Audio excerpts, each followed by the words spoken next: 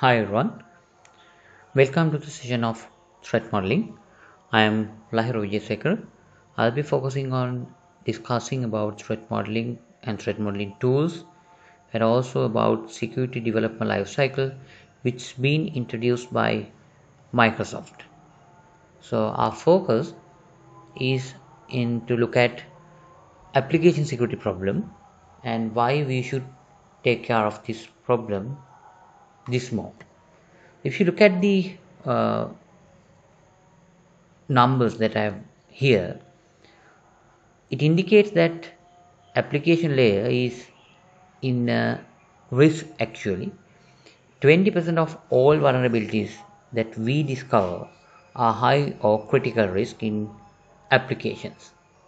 So if you further look at them, there are like 2.7% of them are in the category of critical risk, 7.3 are at high risk, and 12% is at medium risk. And also we find issues in web applications, and uh, this has been a bigger problem uh, in the industry of software development.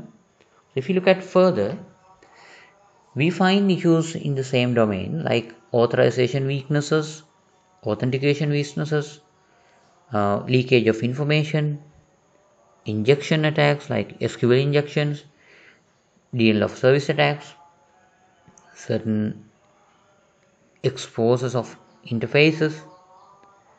Uh, those are some of the issues that we need to consider in application vulnerabilities taxonomy. Uh, if you look at why this is much more important for us in the industry of software development is the cost which we have to bear. If you look at the diagram uh, what we have here cost of fixing vulnerabilities at early stages and also cost of fixing vulnerabilities at later stages are differ in cost so fixing them earlier will save your money if you find them even after developments and uh, implementing it. So the cost to fix them will be much more higher in numbers. So that is one of the crucial factors to look at and that is one of the better reason to identify vulnerabilities at the designing stages rather moving them into the uh, later stages. So, so security development life cycle is of course a software development process where many companies now looking into the security development life cycle rather than typical software development life cycle this has been introduced by or proposed by Microsoft to reduce maintenance cost and they wanted to increase the reliability of software related security bugs. They wanted to reduce them. Uh, the cycle of the improvement of the security development life cycle uh, bill gates seems to be the one who introduced this or who initiated the project of security development lifecycle and they wanted to have a robust framework to identify issues that might arise in internal systems. In 2004, Microsoft senior leadership team agrees to uh, initiate uh, the security development lifecycle for their products they were worrying about sensitive information or sensitive uh, stuff that they had in the applications. And in 2005 to 2007 they were enhancing the security development life cycle. So one of the famous products that they involved is windows vista. Is the first operating system to go through a full cycle of security development now they have much more enhanced tools like threat modeling where you can identify threats earlier in the designing levels of software development. especially people who engage in the designing stages like software architects uh, have to go through this process they have to define the design the diagrams and they have to find out issues and they have to propose fixes for them and involvement is actually security experts and also almost all the engineers in the software development domain. Who factor if we look at the who factor of this model hackers used to make threats against software systems that you and me develop. So we need to find out mitigation mechanisms so mitigation steps for the threats that might be introduced by hackers. The what factor? Of course this is a repeatable process where we need to address threats in your applications. First we should design a diagram and then we should identify the threats and then mitigation steps. Then we need to go for the development process and then to validate them.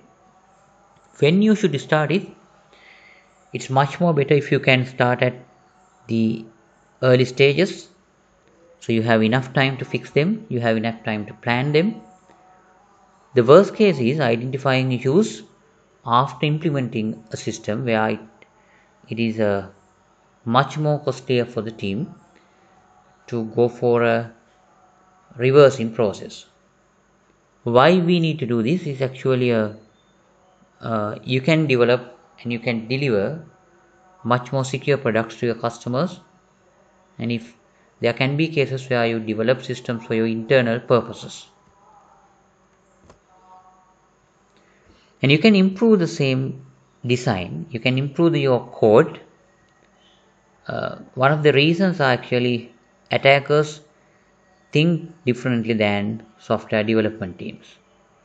This allows you to find security problems early and predict them uh, and effectively remove them through the process. So how to make a threat model is simply a DFD diagram. If you are aware of how to do a DFD diagram, you can apply your skills into the same and make sure you keep uh, rules of DFD diagram, uh, a DFD diagramming. So you can apply the same rules that you have already learned in deciding DFD diagramming. So how do we do this is actually we first design a diagram and we have several standard mechanisms that the tool has given us the support to find out uh, different threads that might affect to different types of element which we have in the DFD diagram. So the model is actually called stride or STRIDE. We will be worrying about different different elements what threads might engage or might comes with different different elements so stride uh, the meaning behind is actually s for spoofing of user identity t for tampering r for repudiation i for information disclosure d for denial of service and E for elevation of privilege. The process of threat modeling is diagramming as the first stage and then you can identify the threat. You can do it manually if you are very much aware of uh, number of threads and the better way to do is actually get the support of this tool and then to identify the threats through the tool as a report. And then you can go for a panel of security experts and software developers architects and everybody can sit together and then propose mitigation steps. Especially it is not uh, an advisable method uh, to invent new mitigations. You can go for existing mitigation steps. You can apply existing mechanisms and then you can go for coding or implementing. Afterwards you can validate your code against what you planned in the designing stage with different tools. We will be looking into different tools of how to validate in another slide. So designing a DFD diagram, of course you need to include processes, data stores if you have and also data flows. Uh, something special to look at is to include trust boundaries. You can have diagrams for scenarios that may be helpful for you. Uh, update diagrams as product changes is one of the very important factor to look at.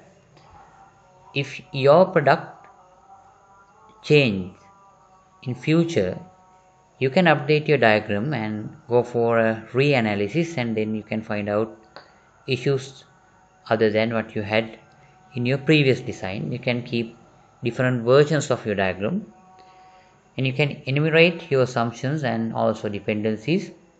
Then afterwards you can find list of issues or list of threats that might arrive these are the elements of DFD diagramming. Here in threat modeling tools you have external entities like people some other systems that might uh, inter interact with your system. You can have processes DLLs EXEs COM objects, components or services, maybe web services or assemblies. You can have data flows like function calls or remote procedure calls, network traffic remotes. Data stores might be like databases. You can have a file, registry, shared memories or else queues or stacks and trust boundaries you might be having process boundaries and file system boundaries as well. If you look at uh, trust boundaries you can add these boundaries uh, that intersect your data flows. In your DFD diagrams you might be having number of data flows. You can have boundaries to intersect them and identify involved threads in these different different flows. And surfaces where an attacker can in interject you can put trust boundaries on the surfaces and processes. Talking across network always have a trust boundary. So let's say if you have few processes that are uh, interacting through networks you can have trust boundaries for that. This is the iteration process. You can start diagramming. Like what you do in typical DFD diagramming you can have a level 1 which is the highest level or uh, the top level of the DFD which might be having a single process and several other external entities and also flows at DFD level 1 you can further break down your previous process into several other processes. And you can enhance your thinking uh, to connect certain other data flows if you have. Level 2 even you can further enhance it.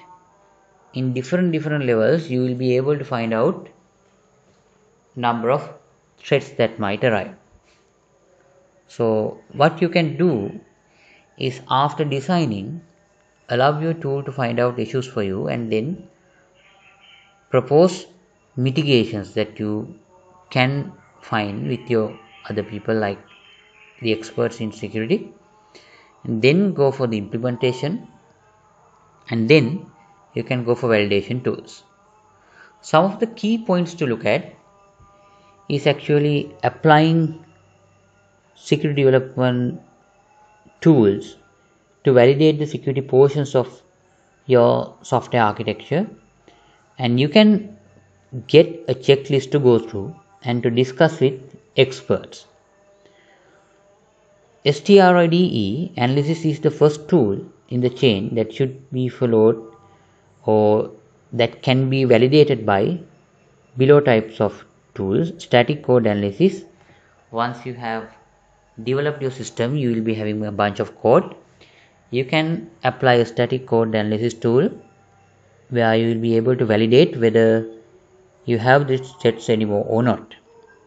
And also a security testing tool. If you have a binary or a running software running tool then you can go for a vulnerability assessment where the assessment tool will provide you number of issues that exist in your system so these are the key points to look at uh, then we'll be focusing on doing a practical in Microsoft threat modeling. Thank you.